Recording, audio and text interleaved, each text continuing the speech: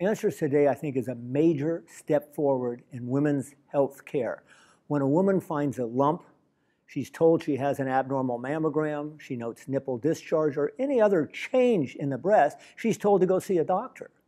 Well, who does she call? When does she get in to be seen? Oftentimes, it's a couple of weeks to get in to see the doctor. Then he sends her off for some breast imaging. That takes a couple of weeks, and he's got to, she's got to come back to his office and get the report. Then he sends her off to a, a breast specialist.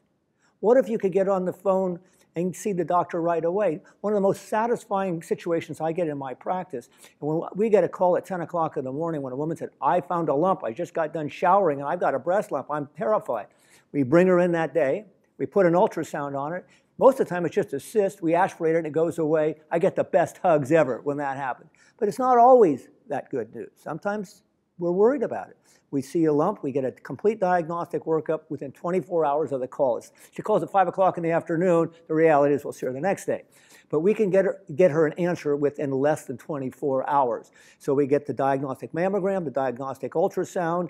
We, we do a core needle biopsy in the office. We send it out. We get a slide on that. We can oftentimes get that answer the same day. So you can wake up with a, a lump that's a breast cancer in the morning and know your diagnosis that afternoon if you make the call early in the morning.